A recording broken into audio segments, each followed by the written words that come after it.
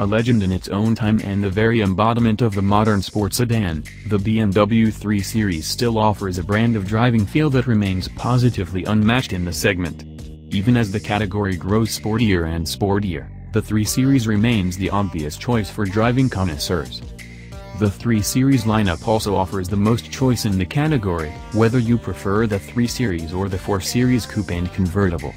The 3 Series is available in sedan, wagon and 5-door Gran Turismo body styles, with rear or all-wheel drive, and with a choice of 6 power plants, including plug-in hybrid and diesel alternatives.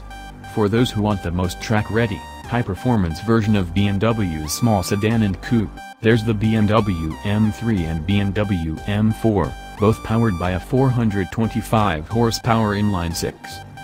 Above every other aspect, the 2018 BMW 3 Series sedan, hatchback and wagon place an emphasis on driving pleasure.